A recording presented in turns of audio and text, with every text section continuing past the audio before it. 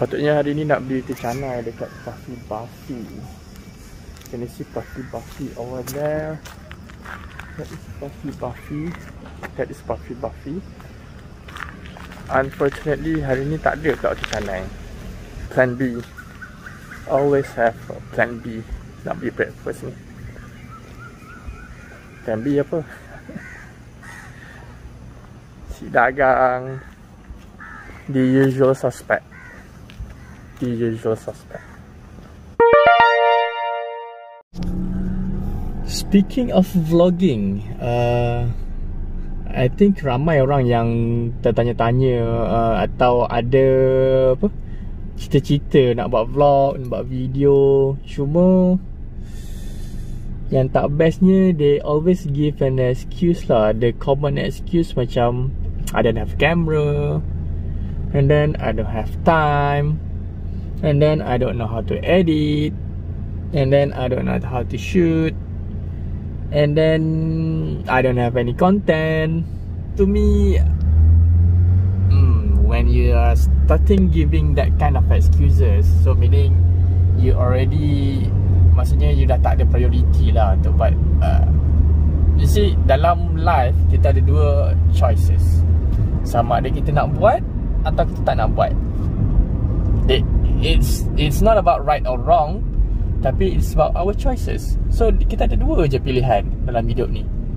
Kita nak atau kita tak nak. Bila kita nak something Kita akan buat sampai dapat. Bila kita tak nak Normally kita akan bagi excuses Atau kita tak, kita tak akan buat. Walaupun senang Atau You know.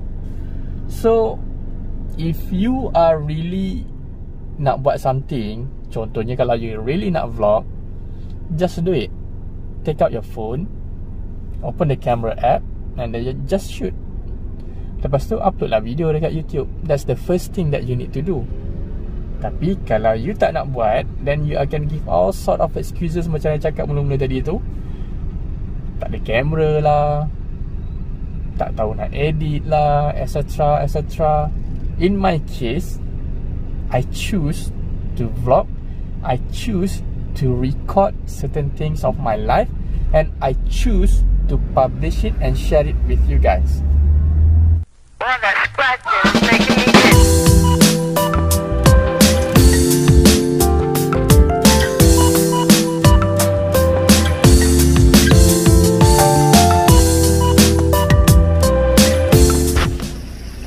I know it's not easy untuk record diri kita sendiri Bercakap depan kamera is one challenge And bercakap depan kamera in public area just another challenge. But you, I mean You have to do what you have to do. So kalau you tak start Then sampai bila nak? Sampai bila kau tak start? And I really Hate this face mask You see? The mist on my glasses.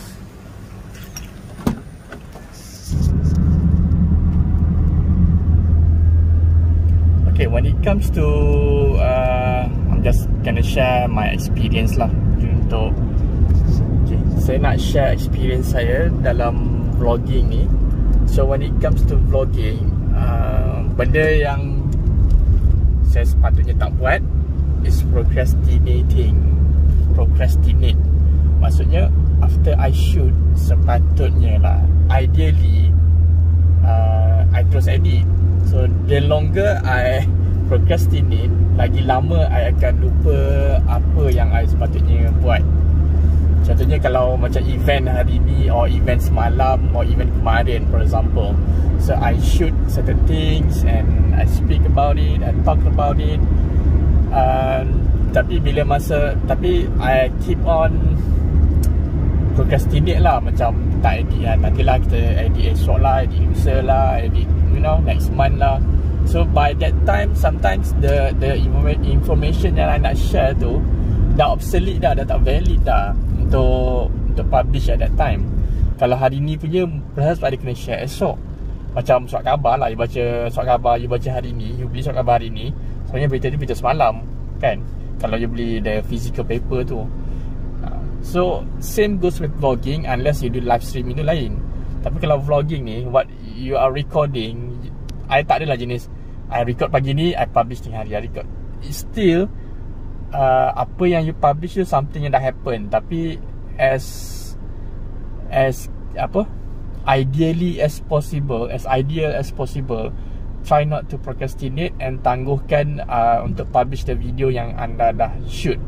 So kalau kita dah shoot hari ni uh, Ideally Petang atau malam Edit lah. And then so that Tomorrow morning Atau tomorrow Paling lambat pun Malam esok pun You dah boleh publish Procrastinate That's my problem No that's not my problem That's my challenge uh, No I think it's it goes back to the the first thing that I mentioned. We have choices lah. So the choice that I made is I choose not to edit the videos video hari ni. Uh, I choose not to publish because I choose to do something else.